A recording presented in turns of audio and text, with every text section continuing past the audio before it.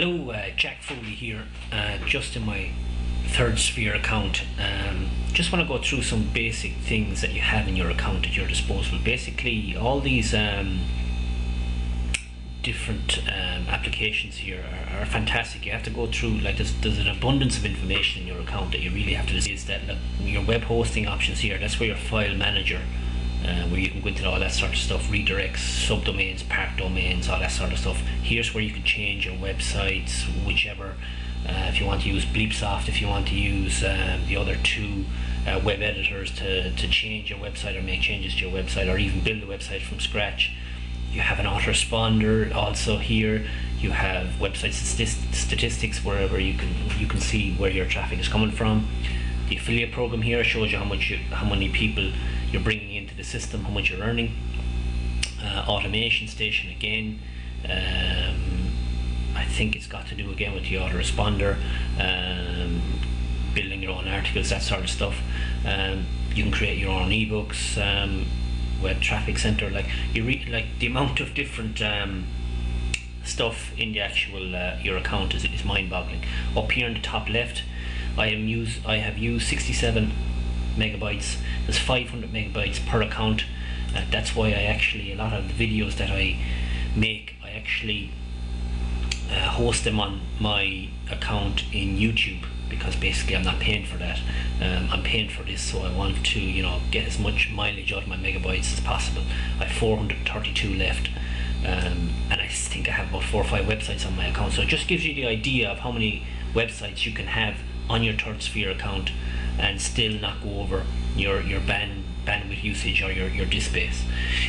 I just want to go in here and show you um, the Bleepsoft editor, which is which is fantastic. Um, basically, you don't have to know any HTML to operate this. You can build websites in a matter of hours. In, in less than an hour, you can you can make changes to your websites extremely quickly. Uh, I'm going to work on my main domain. I have um, also subdomains on my account, but I'm going to work on my main domain here just just to uh, show you um, how I make changes and that sort of stuff. So if I just log in here, it should bring me to my um, my file manager, and from the file manager, I'll go to my main homepage file, which is index.html. Okay, I'm just waiting this to open. Um, just taking a while.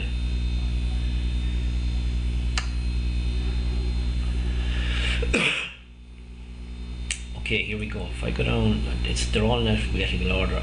All of these files are on this domain. So, like, and I have index test, index one, all that sort of stuff. So basically, if I want to test out how a home page looks, first of all, I'd save it to one of these web pages before I'd upload it to my main homepage site okay if I press edit here this would bring me in to basically my homepage and basically from here from time to time I make changes consistently um, depending on offers from affiliate companies depending on that sort of stuff where to place my affiliate websites um, all that sort of stuff. And the great thing is, is it's so easy um, to do it and so quick to do it. You can just you can basically change your website you know in a flash.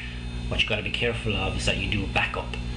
Uh, they say you should be doing it every time you before you work on your site, and I probably agree with them to be on the safe side. I don't personally. I probably do it once, once every two, two weeks, something like that. But definitely before I make big changes on my site, I would always do a backup to ensure that if you do make mistakes, that you'll have something to fall back on.